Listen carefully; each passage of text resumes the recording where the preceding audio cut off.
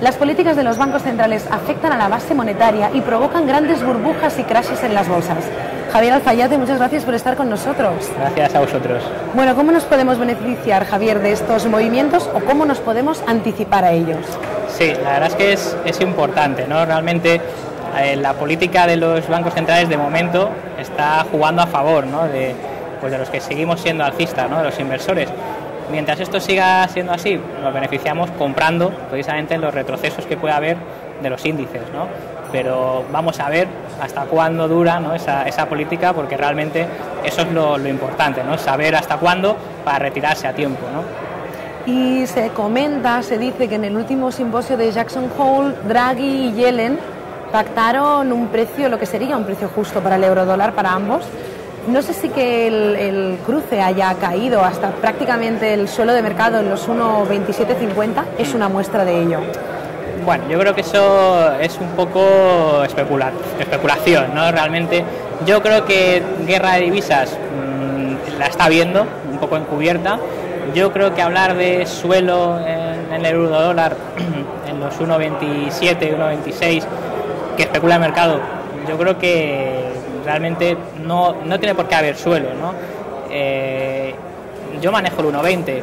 1,20. ¿Favoreces que caiga hasta 1,20? Sí, por lo menos sería de aquí a 6, 9 meses, sería lo normal, ¿no? Si realmente el Banco Central Europeo toma las mismas medidas que ya ha tomado eh, Estados Unidos, ¿no? Entonces, yo creo que poner eh, o hablar de un precio justo del eurodólar yo creo que no, no, tiene mucho sentido viendo cómo está Europa que le cuesta crecer. ¿no? Entonces yo creo que vamos a ver una Europa más americanizada ¿no? en el sentido de, de, política monetaria. O sea, que yo creo que de pacto, nada.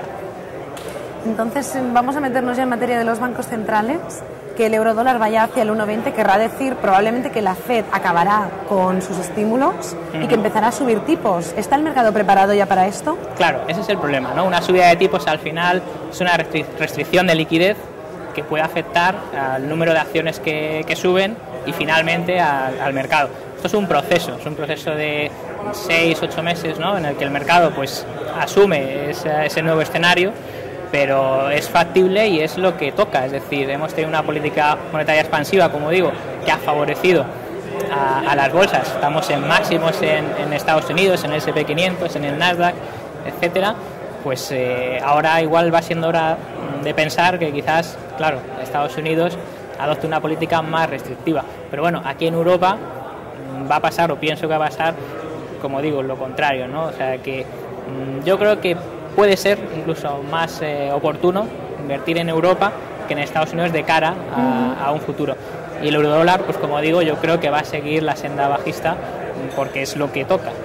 Va a empezar Europa políticas expansivas. ¿Será esta la medida de, de gracia, el golpe de gracia de los que ya llaman Draginomics algunos, para evitar que caigamos en esa temida tercera recesión? Claro, claro. Es decir, eh, aunque el Banco Central Europeo no tiene ese mandato de crecimiento, se tiene que preocupar por el crecimiento, ¿no? porque al final es lo que nos afecta a todos. ¿no?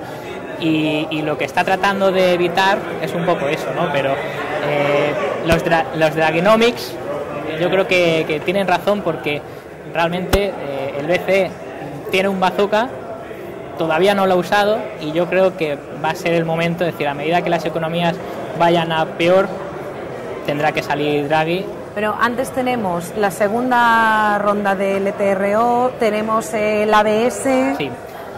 Después, ¿qué tenemos que esperar ya? ¿2005 empezará el quantitative easing a la americana? Sí, sí, sí. Es decir, eh, se están dando cuenta que realmente las, las LTRO la, ya vimos como mm, el objetivo de financiación que tenía para los bancos no se cumplió ni al 60%, es decir, tienen que hacer algo más. Se están dando cuenta que eh, con paños calientes, con parches, no se soluciona la economía. Entonces tiene que tomar el, sí. el toro por los Eso cuernos. Es, el rumbo y, y, tomar medidas claras. Y en este contexto, de aquí a finales de año, principios de 2015, ¿en qué nos podemos fijar los inversores? Bueno, bueno, has dicho Europa. Eh, claro, eso es. Si todo va como esperamos, ¿no? que al final pues tomemos esas medidas a lo americano, ¿no? pues eh, deberíamos de ver cómo, eh, pues eh, digamos, la gente que tenga acciones americanas, un trasvase a acciones europeas, bueno, es un escenario, insisto, y, desde luego seguiremos viendo posiciones bajistas en el euro dólar si al final todo esto se confirma, porque evidentemente al final ¿a qué conduce esto? Pues a un dólar más fuerte y a una caída incluso de las materias primas, como estamos viendo con el oro y con la plata. Muy bien, Javier, pues tenemos invertir en Europa. El euro dólar va a seguir hasta abajo. Espera Javier Alzayate que alcance los 1,20 y Estados Unidos va a empezar a hacer medidas más restrictivas. Muchas gracias, Javier, por estar con nosotros. A vosotros.